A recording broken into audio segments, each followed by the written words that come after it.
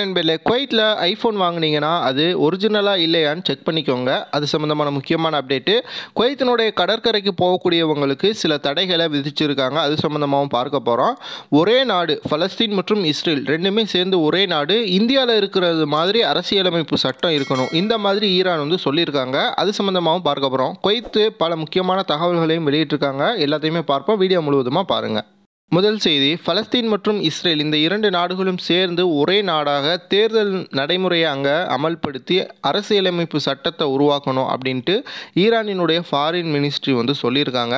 இது வந்து தற்பொழுது ஒரு மிகப்பெரிய ஒரு சர்ச்சையை வந்து ஏற்படுத்தியிருக்கு. ஏன் அப்படின்னா இரண்டு நாடுகள் அங்கே உருவாகணும் பலஸ்தீன் இஸ்ரேல் அப்படிங்கிற நாடுகள் உருவாகணும் தான் அனைத்து முஸ்லீம் நாடுகளும் அரபு நாடுகளும் வந்து நினச்சிக்கிட்டு இருக்காங்க. ஆனால் ஈரான் வந்து தற்பொழுது அதை அப்படியே ஆப்போசிட்டாக ஒரு புதிய ஒரு இதை வந்து சொல்லியிருக்காங்க. இந்த முறை வந்து பல்வேறு நாடுகளில் இருக்குது அரசியலமைப்பு சட்டங்கள் அப்படிங்கிறது இந்தியா போன்ற பல பெரிய நாடுகளிலே வந்து பின்பற்றப்பட்டு நல்ல ஒரு இதை வந்து கொண்டு போய்கிட்டு இருக்காங்க அங்கே. அதை மாதிரியான ஒரு சொல்யூஷனை இந்த இஸ்ரேல் பலஸ்தீனில் வந்து கொண்டு வரணும். இதுதான் மிடில் ஈஸ்ட்டுக்குமே வந்து நல்லது அப்படின்ட்டு ஈரானினுடைய ஃபாரின் அஃபேர்ஸ் வந்து சொல்லியிருக்காங்க. அதே போல் இந்த போர் குறித்து அல்லது உலக அரசியல் குறித்து நம்ம ஏன் தெரிஞ்சுக்கணும் அப்படின்னா இப்போவே தங்கத்தினுடைய விலை பார்த்திங்கன்னா ஏழாயிரம் ரூபாய்க்கு மேலே போய்கிட்டு இருக்குது இந்த வருட இறுதிக்குள்ளே பத்தாயிரம் ரூபாய் நெருங்கிரும் அப்படின்ட்டுலாம் வந்து ரொம்பவே அதிர்ச்சியளிக்கக்கூடிய செய்திகள் வெளிவந்துக்கிட்டு இருக்குது அதே போல் நம்ம பத்தாயிரம் ரூபா வீட்டுக்கு செலவுக்கு கொடுத்துக்கிட்டு இருந்த இடத்துல இப்போ இருபதாயிரம் ரூபா கொடுத்தா தான் வீட்டையே ரன் பண்ண முடியுது. இந்த அளவிற்கு பொருளாதாரத்தில் மிகப்பெரிய மாறுதல்கள் வந்து இந்த போர் அப்படிங்கிறது ஏற்படுத்தியிருக்கு இது குறித்து நாம் அப்டேட்டில் இல்லை அப்படின்னா நம்முடைய குடும்பமும் வந்து அந்த போரால் கண்டிப்பாக வந்து பொருளாதார ரீதியில் பாதிக்கப்படும்.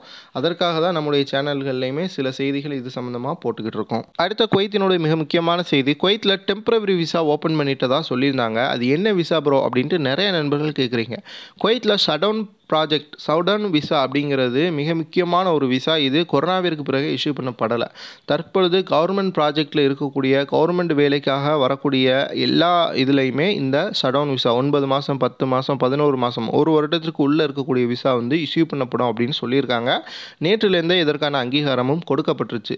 இந்த ஷடவுன் விசா அப்படிங்கிறது நம்ம எப்படின்னா லாங் டர்மாக வராமல் ஒன்பது மாதம் பத்து மாதத்துலேயே நம்ம ஒரு லம்பாக ஒரு அமௌண்ட்டை வீட்டுக்கு எடுத்துகிட்டு போக முடியும். அந்த மாதிரியான ஒரு விசா இது வந்து இப்போ ஓப்பன் ஓப்பன் பண்ணப்பட்டிருக்கு. இந்தியாவிலேருந்து நிறையா பேர் வரலாம். வெல்டரு அதே போல் டெக்னீஷியன்ஸ் நிறையா பேர் இன்ஜினியர்ஸ்ன்ட்டு இந்த விசாவில் வந்து வருவாங்க. குவைத்தை பொறுத்த வரைக்கும் இந்த விசாவை பயன்படுத்தி நிறைய போலி ஏஜெண்ட்டுகளுமே மக்கள்கிட்ட இருந்து பணத்தை பறிப்பாங்க. அந்த மாதிரியான நபர்கள்ட்ட இருந்து சேஃபாகவும் இருங்க. வீடியோ பார்க்கக்கூடிய நண்பர்கள் விசா வந்துச்சு அப்படின்னா கீழே கமெண்ட் பாக்ஸில் உங்களுடைய டீட்டெயிலை கொடுத்து அதை செக்கும் பண்ணிக்கோங்க.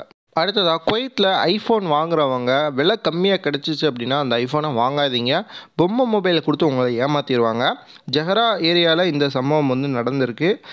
என்ன அப்படின்னா லோக்கல் மார்க்கெட்டுக்கு மொபைல் ஃபோன் வந்து கம்மி விலையில் தாரோம் அப்படின்னு சொல்லி நிறையா ஃபோன் வந்து வந்திருக்கு. அதில் உள்ளே இருக்கிறது பார்த்திங்கன்னா பொம்மை மொபைல் அப்படின்ட்டு வந்து சொல்லியிருக்காங்க. தற்பொழுது ரெண்டு ஆசிய நாட்டவர்களை கைது செய்து விசாரணை நடத்திக்கிட்டு இருக்காங்க. அடுத்ததாக குவைத்தினுடைய கடற்கரைகளுக்கு போய் சமைச்சு சாப்பிடக்கூடிய வெளிநாட்டவர்கள் தற்பொழுது அந்த இடங்களுக்கு போய் அதாவது கடற்கரைகளுக்கு போய் சாப்பிட வேணாம்.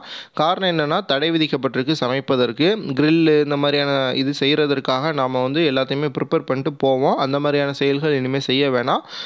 ஏன் அப்படின்னா குவைத்தினுடைய டூரிசம் கம்பெனி மெயின்டெனன்ஸ் ஒர்க் வந்து குவைத்தினுடைய அனைத்து கடற்கரை பீச்சுகளையும் பண்ண போகிறதா தெரிவிச்சிருக்காங்க.